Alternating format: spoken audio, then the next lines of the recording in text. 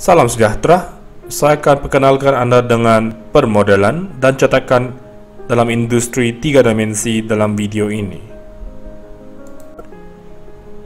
Permodelan tiga dimensi bermaksud menghasilkan dan membangunkan objek-objek tiga dimensi dengan menggunakan aplikasi-aplikasi komputer. Misalnya aplikasi 3D Builder, 3D Max Studio, SketchUp, Autodesk 3D Max, dan lain-lain. Aplikasi-aplikasi ini boleh dibahagikan kepada dua jenis, yaitu yang percuma dan yang berbayar. Teknologi dalam aplikasi yang berbayar adalah lebih canggih dan ianya dapat menghasilkan objek 3D yang lebih rumit dan dapat memenuhi keperluan industri.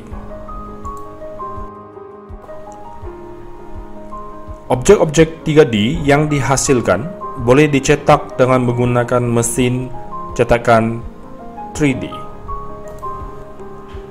Para jurutera dan pereka dapat mencetakkan model 3D yang mereka ciptakan. Dalam industri, objek-objek 3D dicetakkan untuk tujuan penghasilan prototipe dan pengkomersialan secara besar-besaran.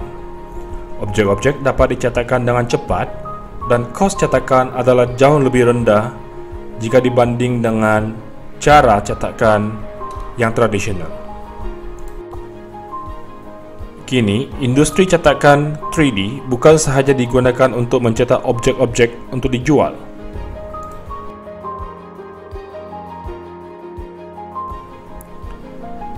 kita dapat mencetak rumah, kek, dan makanan.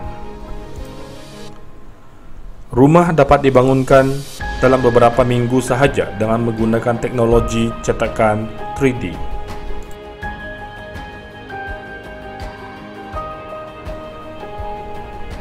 Makanan dan kek dapat dicetak dengan laju dan cantik.